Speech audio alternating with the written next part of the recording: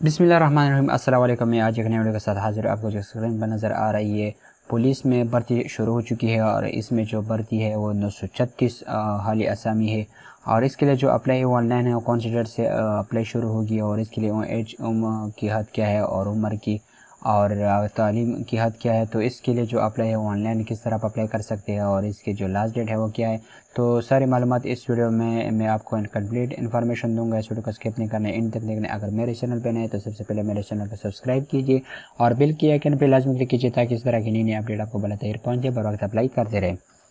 ये पहले नंबर पर जो है, ये केरन कांस्टेबल है बी बी एस सेवन है।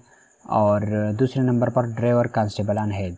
और इसके लिए जो अप्लाई है, वो 15 सितंबर 2022 से शुरू होगी 30 सितंबर 2022 तक इसकी ऑनलाइन अप्लाई होगी।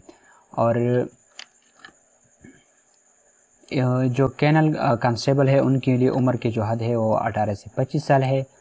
और जो ड्राइवर कांस्टेबलान के लिए जो है, वो 18 से 30 साल, इक्कीस से 30 साल है। और विद ड्राइविंग लाइसेंस उसके साथ लाजमी हो। और इसके लिए जो आप अप्लाई करेंगे तो ऑनलाइन ईटा की वेबसाइट पे करेंगे और इसके लिए जो आप पेमेंट जमा करेंगे तो वो इजी पैसा से भी आप जमा करवा सकते हैं। और इसके लिए आप अप्लाई पंद्रह से स्टार्ट करेंगे और पेमेंट तीस सितंबर 2022 तक जब भी आप पैसे जमा करवा सकते हैं, तीस तारीख से पहले पहले छः सौ पचास रुपये आप जमा करवा सकते हैं।